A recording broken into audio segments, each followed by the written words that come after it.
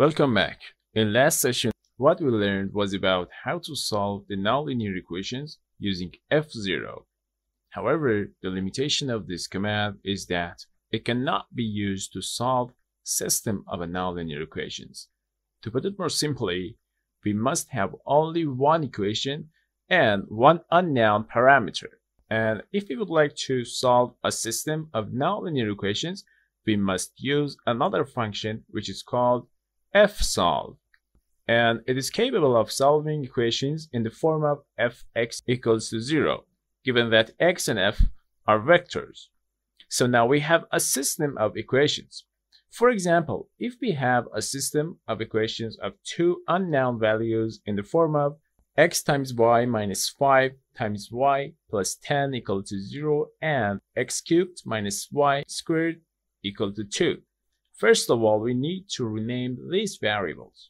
So we rename x to x1 and y to x2 and rewrite these equations, okay? So we will have x1 times x2 minus 5 times x2 plus 10 equal to 0 and x1 cubed minus x2 squared and we can move 2 to the left hand side and also change its sign and make both of right hand side expressions equal to 0 okay so now this is f x, even that x is a vector with components x1 and x2.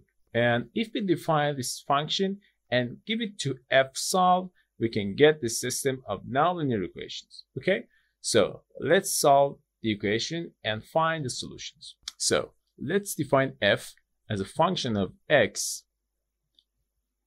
Okay, assuming that x has two components or two elements and the return value is a vector itself and its first element was x1 times x2 minus 5 times x2 plus 10 so x1 times x2 minus 5 times x2 plus 10 and in the next row we have x1 cubed minus x2 squared minus 2 and that's it.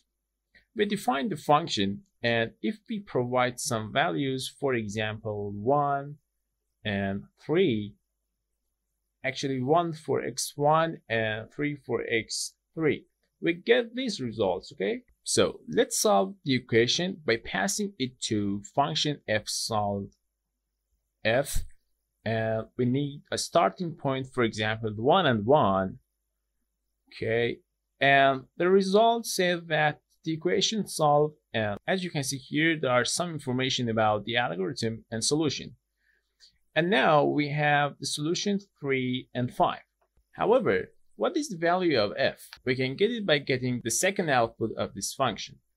And x shows us the solutions, and fval is the function value and you see that it's almost zero so you can check it with 3 and 5 okay we solve this system of nonlinear equations and now the solution is x1 equals to 3 and x2 equals to 5 or in original equation x equals to 3 and y equals to 5 if you like my channel Please hit the subscribe button and bell icon to receive more videos every week. Many thanks for watching.